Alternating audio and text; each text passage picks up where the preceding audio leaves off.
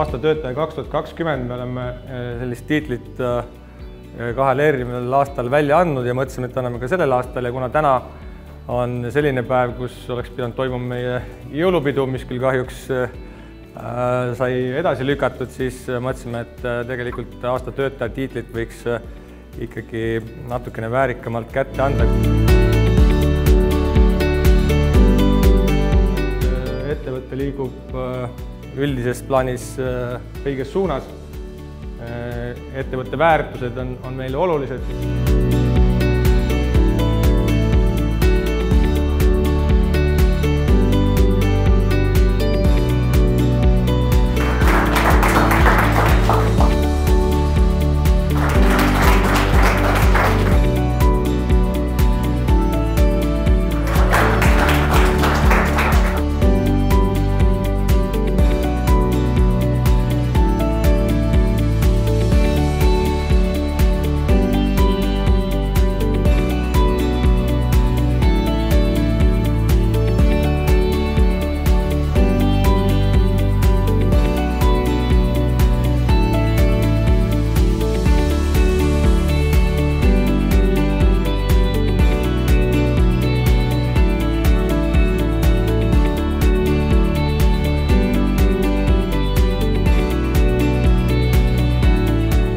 Hea meel on tõdeda, et äh, sellel aastal on äh, aasta töötajaks ei keegi muu kui Marek Reinsalu.